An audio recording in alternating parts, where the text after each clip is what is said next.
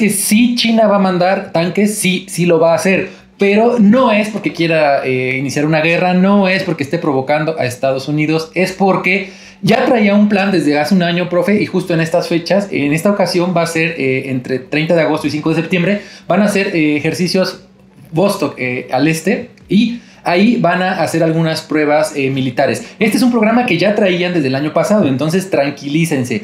Eh, el, año anterior eh, la participación fue de más de 10.000 efectivos armados, profe. Entonces no, no fue una movilización pequeña, fue algo grande, fue algo choncho. Sin embargo, esto pues muchos lo ven como una afrenta, una provocación, sobre todo porque digamos que pues Rusia está en, digamos, con temas un poco más delicados, profe, no está, está en una hostilidad o en medio de una acción militar con Ucrania y dicen, pues, ¿cómo si estás en esa situación? ¿Cómo es que sigues jugando a las guerritas con el gobierno eh, chino? Entonces esto lo han tomado por este lado o de forma negativa.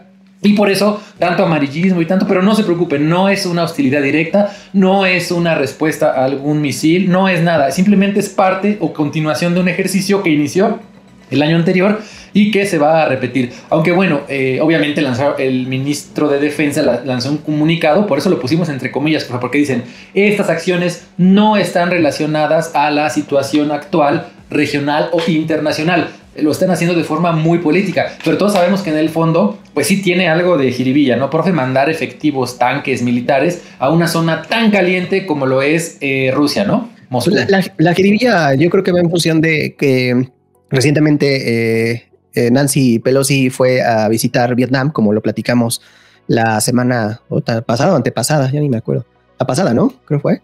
Eh, y, eso tensa mucho las eh, relaciones entre China y Estados Unidos porque Vietnam es un... No, no, perdón, Taiwán. Taiwán, Taiwán. Lo estoy confundiendo.